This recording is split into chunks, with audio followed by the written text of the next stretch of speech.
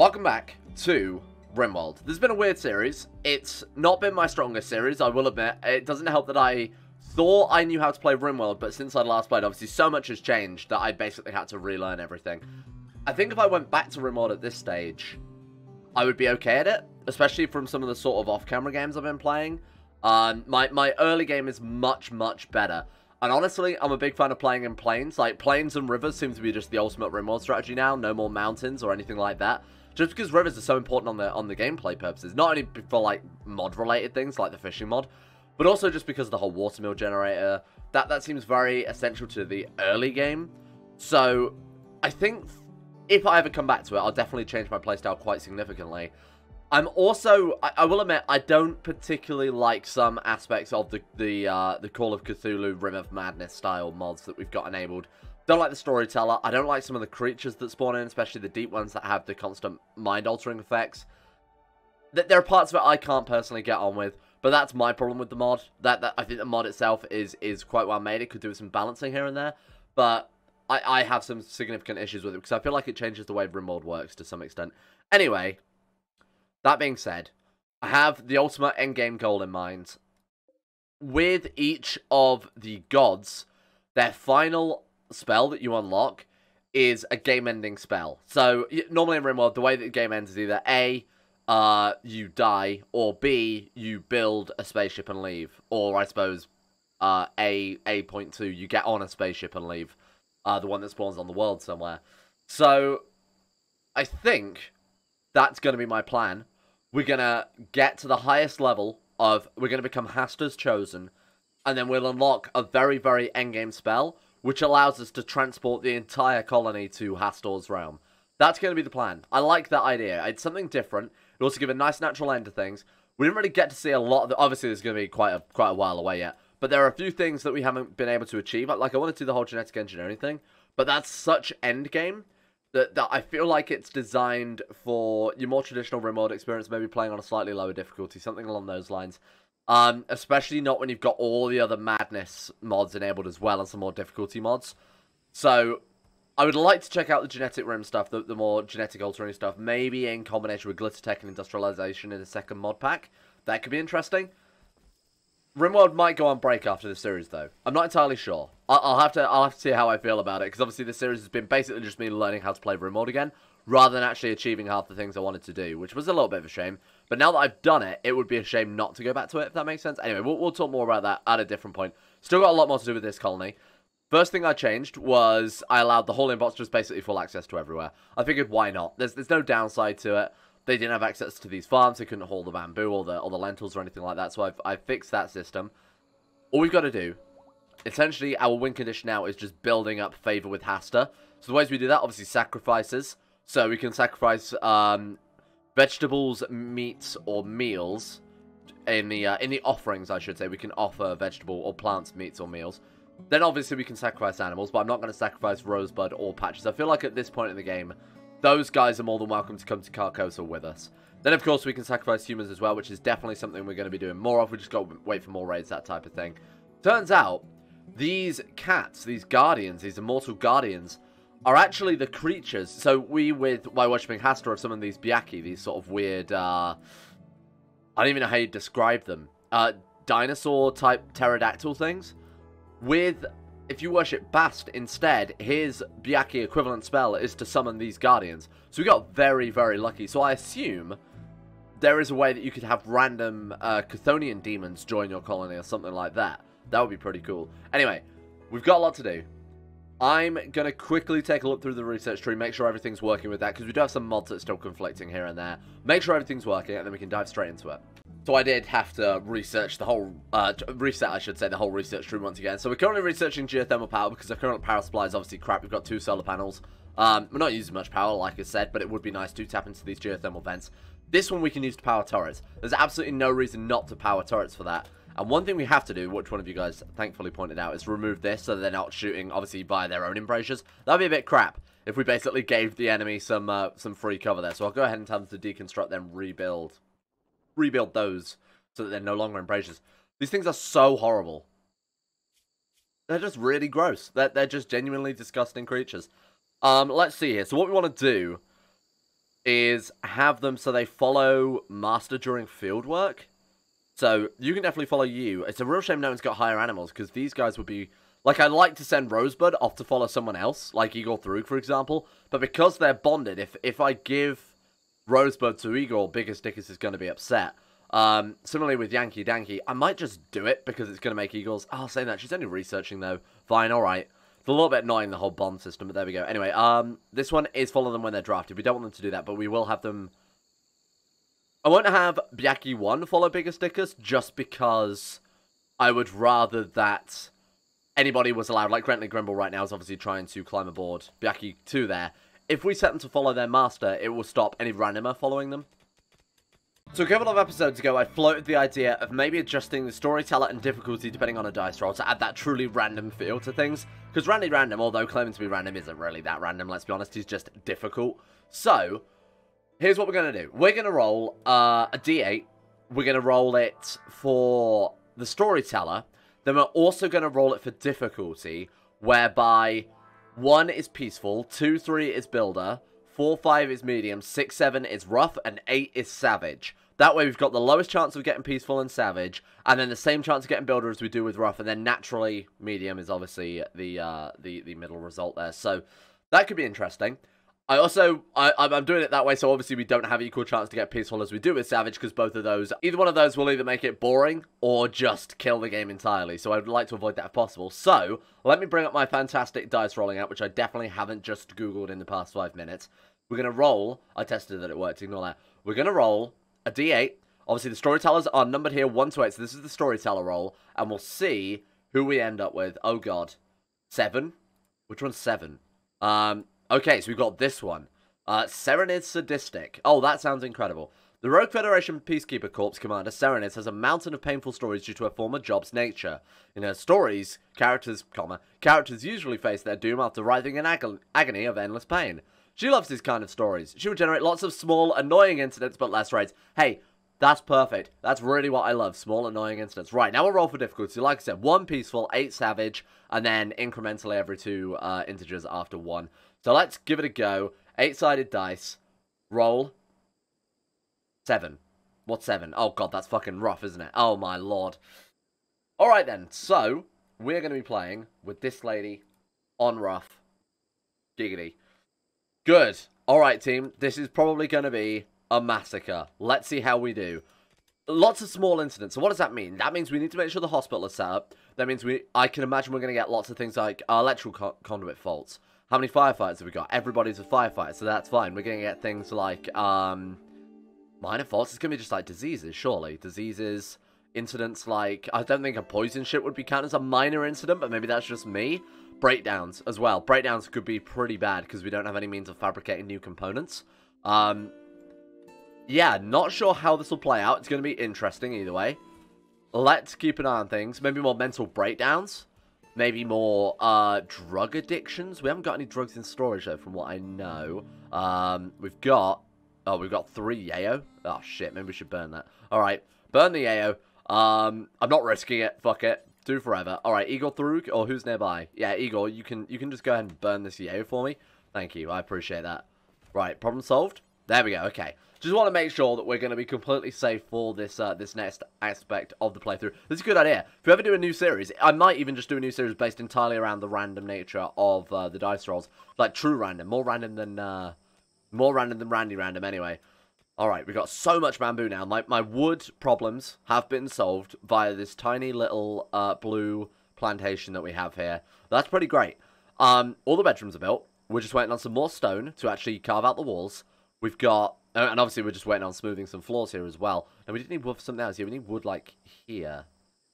So the bamboo should be automatically cut into wood. Okay, so they've just harvested it and left it to rot. That's understandable. I don't know why you wouldn't. I feel like what we could do if we really want to maximize the end game, the Hastur ultimate spell to drown the whole or send the whole colony to Carcosa, it would make sense to be getting the most meat and the most um the the most plants as possible because you can offer those up on the altar, right? Apparently it takes a long time to get there, and from my own single player testing, can confirm it does take quite some time to get there. So I'm thinking, let's how are we gonna do this? I'm thinking like start a giant farm because I imagine it's based on nutrition value. That's that's my only guess. So it's based on the nutrition value of the plants or the meat or the meals that you sacrifice. We could just build a big farm, you know, farm for the old gods. Seems a bit odd, but we could give it a go. What does Hastur look like? Oh, he's like a he's like a goat man. He's like a deer man, like Rudolph. Merry Christmas, everyone. Um, is there a way to tell actually what these sacrifices entail? So if we go offering, if we go plants, uh, meats medium by Igor, it doesn't really say. Does it not give us any indication to the... Oh, there we go. Hang on. But based on its nutrition values. Right, so we want to be making the most nutritional food or growing the most nutritional food. But it's also going to be based on the growth time as well. That'll have an effect on it. Huh.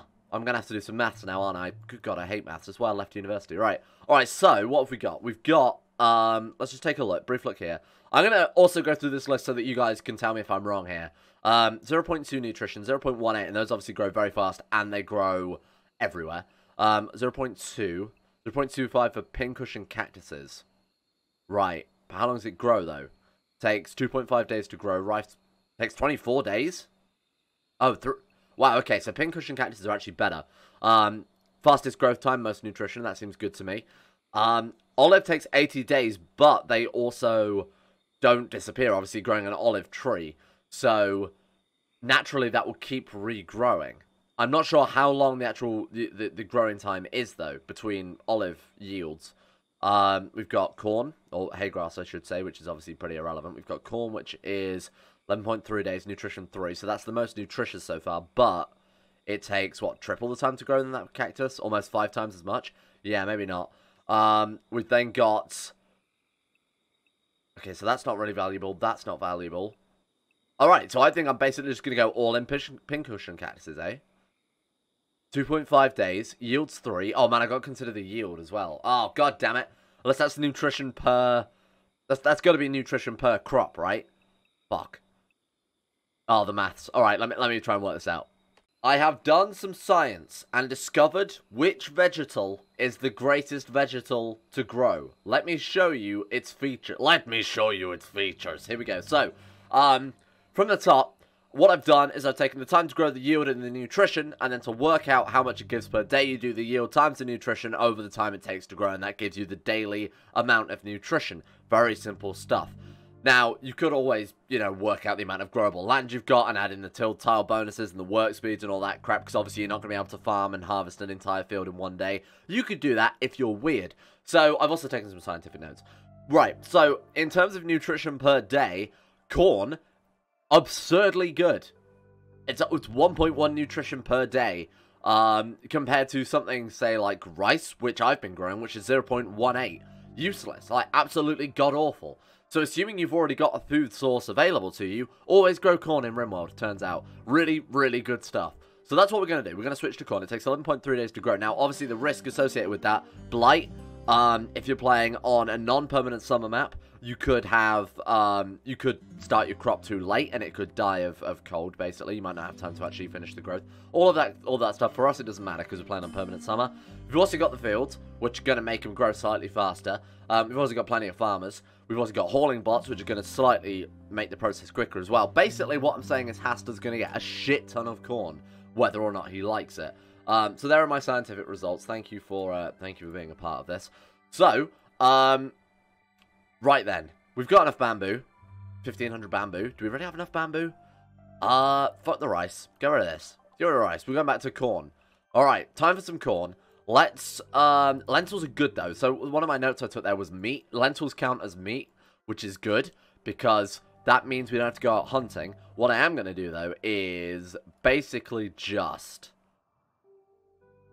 basically just do the following, right? I'm going to say, how much heal root have we got? We do need heal root, I will admit, 63. So, I'm going to shrink the heal root zone down significantly. We're going to instead, because let's be honest, that's going to grow pretty quickly, right? Because we've got these tilled fields. What I'm going to do, I'm going to say, hey, it's time. Hastur needs his corn. Um, we're going to go ahead and we're just going to just going to smooth off the entire base. Do we have, um, do you have the ability to lay a stone? Have I researched that yet? I'm going to tidy this up in a second because this is an absolute state. Just going to do that. uh, which is basically going to say every farmable farmable square is going to be farmed. Uh, let's just not remove the mountain though. That's not that's not generally crops don't grow well under mountains. So let's get rid of that. There we go. That's better. Right. I'll tidy this up very briefly. Then we'll replace all of this with with corn because um obviously we're going to get the most kickback from that. That's going to be the most valuable to Hastur. The King in Yellow does love his corn. And then we'll just set up a farming racket. And it's going to be great. The rest of the series we can spend farming and doing nothing else. That doesn't seem like a good idea in hindsight. I'll leave the lentils, because the lentils are obviously pretty good in terms of um, saving us from having to hunt. And then we'll just go ahead and replace all of this with delicious, delicious corn. He, he's done it. He's a genius. Give me the world's largest corn farm. Right, expand zone. Uh, yeah, no, we need we need all of this. Wait, we can till the we can till that area? Guess I'll just have to wait for some of it to be tilled first. Alright, just till around this kill box. Let's turn death into life. Did that did they not say that in Lion King? I don't remember. Someone someone look it up. Someone go watch Lion King for me. Alright, let's let's do that. There we go. That's looking nice. Now we can just go like that because it's a, it's an attached growth area, so don't have to worry about replacing the lentils. Um I'd also like to expand it over here, but I feel like it's just going to start a second growing zone. It is. We've got one growing zone, yes, but how about a second? There we go. All right. Just go ahead and expand that out as well. This one might be a bit far out of the way, so it might be a bit of a waste of time. There will be certain small squares that will not, won't be attached that will just grow potatoes, so I'll just go ahead and delete those because those aren't going to be relevant. I'll also cancel so we're not completely wasting our time. All right. Operation Kill America with cornstarch is underway. I mean, um, please Hastur with cornstarch is underway. I might even go ahead and cancel these, because fuck them. I mean, they're going to look hideous. They're in completely the wrong area of the map. There we go. Alright, good work, team. Let's also dig this one up. This is going to be so good. Icarus is out there tilling the fields, preparing for the great corn god in the sky. Corn for the corn god. We will make a corn throne. No more... Can, is, there a, is there a corn furniture mod? I'm definitely on board if that's the case. I feel like it would definitely lend itself well to what we're about to do. I don't think the bone church is really nice in terms of aesthetics. Uh, it looks kind of ugly. I would like to dig a better church. I'm tempted to also dig out a big area here and build a bigger church. Um, mainly because this is a, a, fucking eyesore, I'm going to be completely honest with you. So, how many bones have we got? Surely we've got an absolute stack of bones. Oh, God, my... Uh, that made me almost vomit. Uh, we've got shit tons of bones. Alright, so what we'll do is uh, we'll dig out Operation massive church. Um, we'll build it. I'm going to build it here. I'm going to build the main entrance to the church here just because we can grab that uh, compacted machinery there. And then we'll do it like seven blocks that way. And then we'll do it seven blocks this way. And I feel like it's going to be an even number because we've also left the block in the middle. Oh god, it's 14. I was right. Uh, but there's clearly a block in the center though, genius. How's that worked? Seven? Seven. 14 divided by 2 is 7. He's a genius. Right, um... Odd numbers, eh? Alright, so this is going to be the size of the church. It's going to be a powerful procession. It's going to be uh, a man in a robe seeking communion with the divine. Um, except it's going to be Hastur. Instead of a man in the robe, it's going to be Igor. Corn Igor. Oh, it's king in yellow and they're all wearing yellow robes and corn is yellow. I'm playing 4D chess while you, you filthy Ningans are on at least, like, tier tier 1 of your, your Hastur spells. Meanwhile, I'm on tier 4. I'm being dragged to Carcosa with my corn. Meanwhile, we're gathering for a sermon. Look at them all. They even look like corn. This is so good. Igor has experienced an inspiration. She will move faster for the next eight days. Probably something to do with the fact that she literally burnt a shit ton of cocaine and inhaled the fumes. Or maybe she didn't inhale. I feel like you have to say that when you lead a, lead a cult, right? Otherwise, they, they turn against you. So, How's the corn farm going? I know you're all asking the same question. Basically, we've just got some tilled fields for now. Apparently, we've got some mushrooms out of it, though. That's nice. We've also got some, got some berries, some potentially poisonous berries. The church is also underway. Man, I don't know why, but I feel like progress is being made tenfold compared to what we've done in the past 50 episodes. I feel like I've achieved more in just this, this space of about 15 minutes. Oh. Oh, that's good. Does anybody want a nuclear power plant? Because by God, we've just found the fuel for it. Do we have any uranium? Surely we must have some uranium. Um, do my eyes deceive me? So we had 52. That's not actually enough to fuel it, to my knowledge. So that's worked out exceptionally well. It's a gift from Hasta himself. This is a state, though. This is, this is kind of a mess. At long last, power. Oh my god, we can get some power in the base. This is incredible. Right, okay, power. Let's go geothermal Jenny. Let's build one here. Let's build one here. Oh god, it's covering up the entrance to the kill box. Um, in that case, we'll put the door there. Yeah, we'll put the door there. That's that's not a problem. The downside is, the downside is, how are we going to shoot at them if we've covered up 90% of the kill box? I may have to readjust uh, the kill box somewhat. So I'm thinking, sorry, my fucking life, eh? I'm thinking we go like this for a start. Let's go to that. We go like this. We go, uh, we, we remove this. We, we, we, we, we go, hang on, we go like this. Right, bear with. Bear with me here. Um, oh shit, that counts as fucking, oh my lord. Can we build doors there? I wonder if we can build doors there.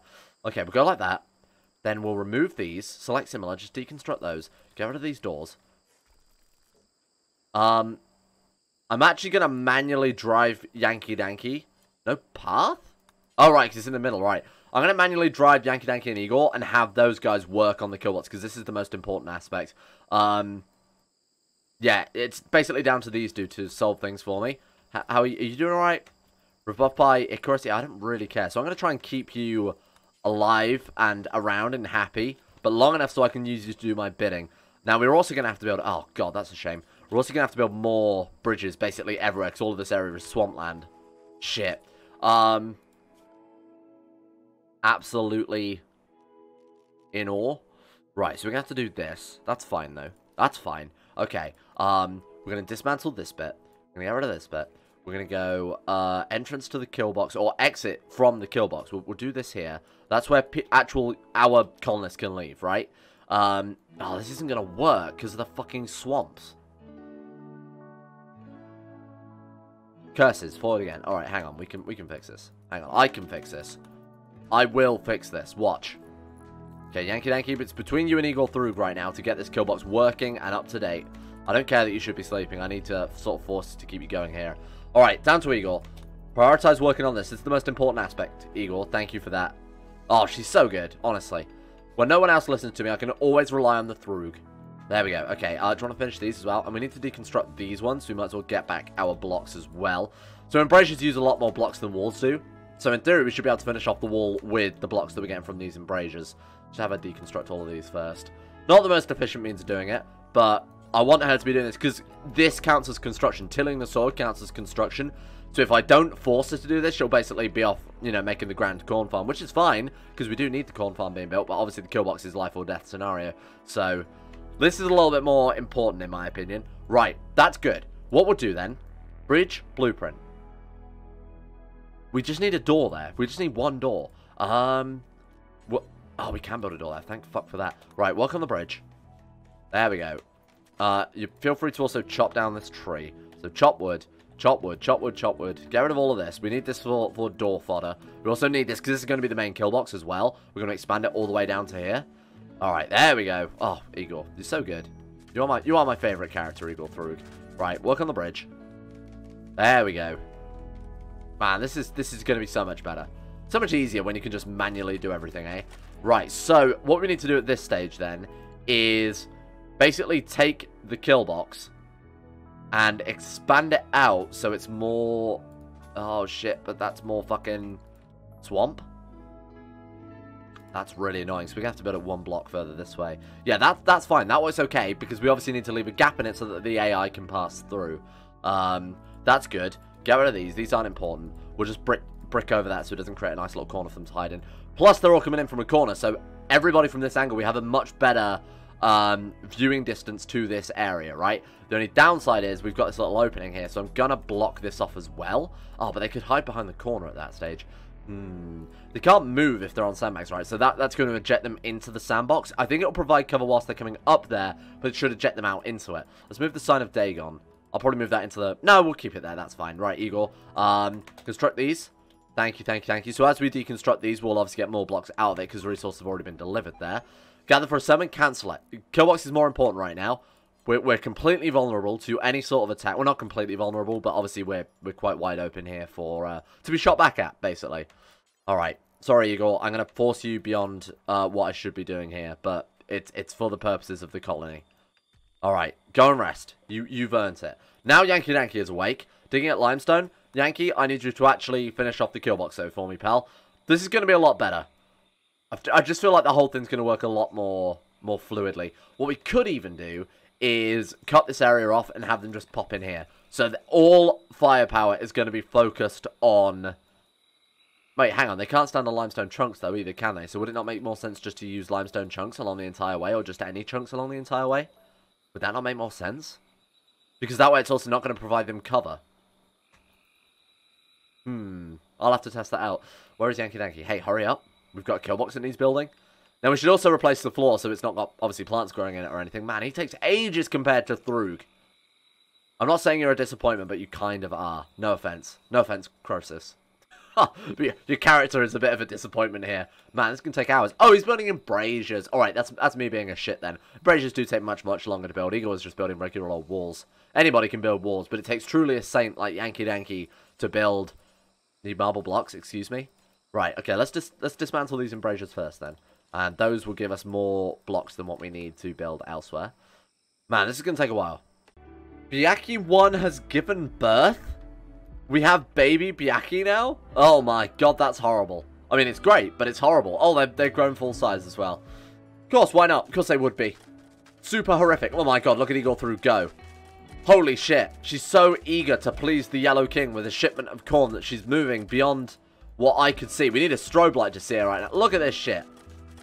Are you right, Igor? Is it is it is it the yayo? You can tell me if it's the yayo. Have you got a problem? Then we to send her to rehab. Oh, to be fair though, she does have this uh the, the bear claws which would help her till soil. Apparently it does. Can't even argue with that. Man, look at this though. She's such a great character. We'll have corn in no time. To be fair, we've actually planted quite a fair amount of corn already. So this is our corn growing zone. Um, it's huge. It's going to give us a shit ton of food. Like, uh, we're never going to have another food problem again, let's be honest, with all this nutrition kicking around. I'd like to finish off the kill box, but you know what? I'm actually just going to let her till the fields because it needs to be done. So, I mean, the kill box is okay. It's it, it, it does its job right now. It does it badly, but it still does it. And once she's finished that, then she can focus on, obviously, the, the, the geothermal generators. We can focus on... Oh, my God, have we not got enough components? Uh, bamboozled? Huh. Well, that's a bit shit. Um, we haven't had many trade ships lately either. You have to be careful of that. Alright.